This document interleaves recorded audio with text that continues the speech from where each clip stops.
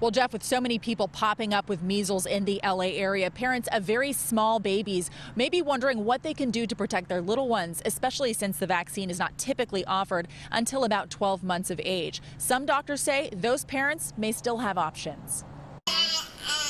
Like every new mom, Nicole Wolf worries about her baby. But her fears strike deep. I'm really afraid that she's going to wind up dead. Nicole was terrified to learn about a recent measles outbreak in LA County. Nicole's own mother contracted the disease years ago.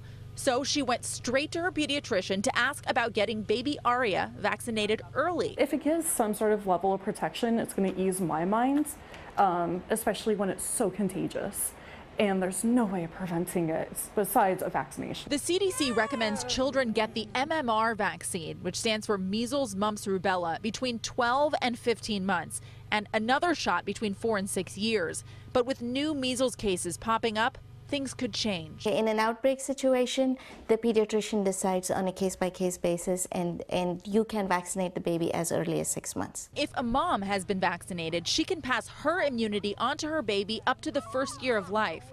But amid an outbreak, pediatricians and parents can opt to vaccinate early. But that doesn't mean they should skip future shots. Now you're doing an early vaccine between 6 and 12 months, then between 12 and 15 months, and then the third shot will have to also be given. No matter, says Nicole, this mom doesn't want to take any chances. If she has to get it again, I'd rather have her get a double dose and get that boost or whatever instead of waiting six months in fear of her potentially contracting it. And the doctor we spoke with said some pediatricians may decide not to give the vaccine early because babies who are cared for at home, surrounded by other adults who are vaccinated, are typically at low risk for exposure. But babies who spend a lot of time at daycare or whose families plan to travel to areas that have outbreaks, well, those babies may end up getting the vaccine early. The bottom line is, though, you should talk to your pediatrician about it. Reporting live, I'm Sara Donchey. Back to you. All good.